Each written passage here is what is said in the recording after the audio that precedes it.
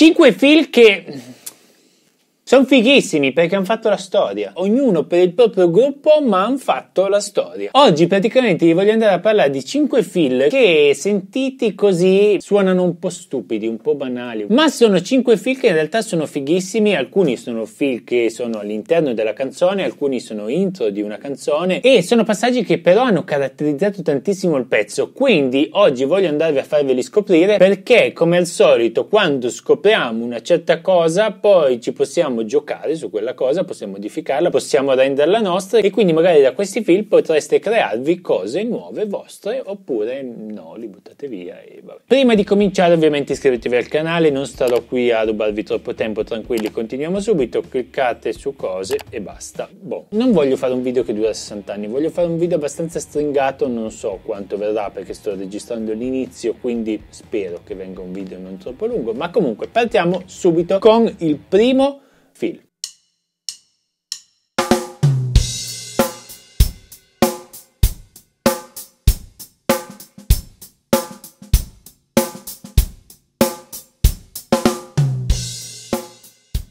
L'avete riconosciuto? Questo qua è Can't Stop dei Red Chili Peppers suonato da Chad Smith. Questo è il solito film, nel senso è il solito film pop banalissimo, ma che comunque primo ci sta sempre bene. In qualsiasi contesto, in qualsiasi musica, in qualsiasi genere facciamo questo film, va sempre bene. E nonostante la sua semplicità, ha caratterizzato tantissimo la canzone. Tutti i batteristi si ricordano la canzone anche per questo film, tra virgolette, passatemi il termine, banale. Perché tutti quando la cantiamo, cantiamo papà pum psh questo per dire che quando c'è un film banale non buttiamolo subito via, non diamolo subito per scontato che quel film non sia da fare perché è troppo banale. Pensiamoci un attimino prima. Secondo film in questione ve lo faccio sentire subito.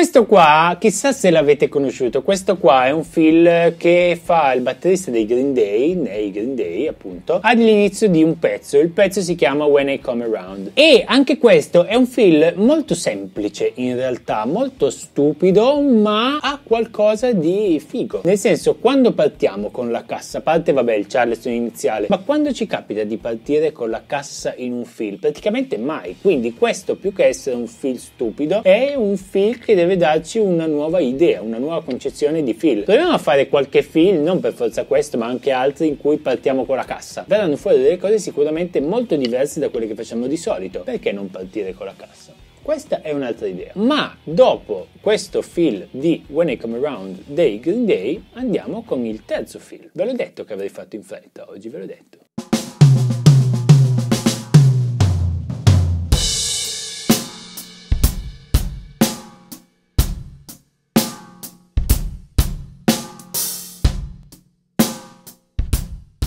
Non è detto che i batteristi l'abbiano beccato subito questo film, ma probabilmente i chitarristi, se c'è qualche chitarrista che sta guardando questo video, l'hanno beccato sicuramente subito. Questo è un brano di Jimi Hendrix e si chiama Little Wing. Dopo l'inizio del pezzo, sarà 30-40 secondi dall'inizio del pezzo che c'è tutto l'intro di chitarra, la batteria parte proprio con questo fill. All'inizio questo fill, se lo sentiamo, diciamo che cavolo è? Cos'è sta roba? Tu papà, tu papà, tu papà, tu papà, tu papà. Ce lo insegnano alla seconda lezione magari dopo qualche mesetto. Però comunque molto spesso anche questo può risultare stupido, può risultare banale. In realtà non lo è per niente, raga. Questa cosa delle terzine suonate su Tom, ho le bacchette in mano per questo, vedete, perché poi devo gesticolare, mi viene da suonare. Sul Tom con le ghost sul rullante, molto spesso è un po' snobbato. In realtà è una figata. Tu papà, tu papà, tu papà, tu papà, pum pum pum pum. Cos'ha di male questo filo? È fighissimo, è musicale, non è così difficile da fare. Ah, è bello, è tutto tutto a singoli, quindi non abbiamo neanche il problema della diteggiatura. Studiate questo fil e poi di qui da da questo fil, ragazzi, sapete quante cose potete tirarci fuori? Tantissimissi, Createvene di vostri sulla base di questo fil. Ne tirate fuori una marea e super musicali. Mi ero un pochettino arrabbiato, scusate, ma adesso andiamo con il quarto fil.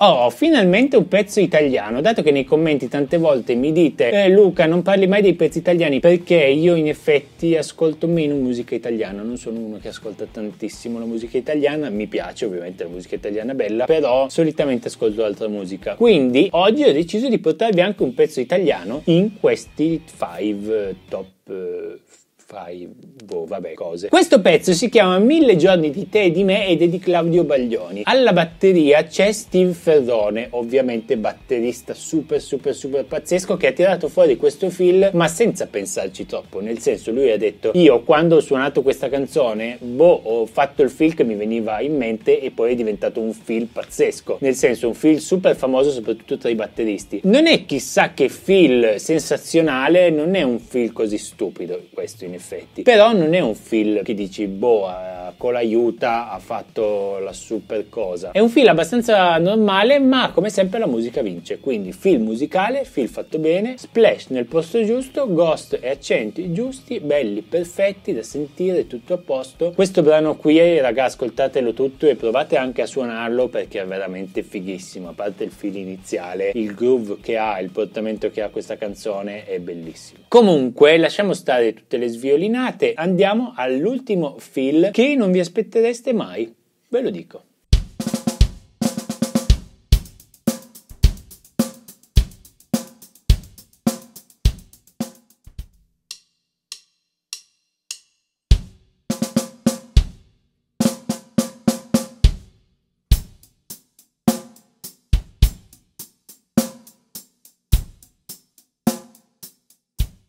Questo qua qualcuno l'ha riconosciuto? Un pezzo di Michael Jackson che si chiama Rock With You, che ovviamente è famosissimo, nel senso sicuramente tutti tutti voi l'avrete già sentito, ma questo fill che fa con la batteria inizio pezzo è stupidissimo ma è fighissimo, perché in pratica è come se andasse a suonare una cosa abbastanza normale, neanche troppo strana, con le mani, ma alcuni colpi le fa con la cassa. Quindi qual è la figata? Non tanto la ritmica, perché se noi andassimo a fare tutto sul rullante la stessa ritmica, quindi sostituendo anche i colpi di cassa con il rullante, diventerebbe povero, non avrebbe nulla da dire questo film. Con queste casse all'inizio, alla fine, qualcosa a metà, diventa tutta un'altra cosa. Quindi, come dicevo anche all'inizio sul pezzo dei Green Day, e tra l'altro vado a mettere insieme i Green Day con Michael Jackson, ma passatemi questa cosa, andate a mettere ogni tanto la cassa nei film nei posti più disparati. Non pensate troppo a ok, la cassa deve essere lì, il rullante deve essere lì. No, non ci sono regole. L'unica regola della batteria è andare a tempo. Per il resto,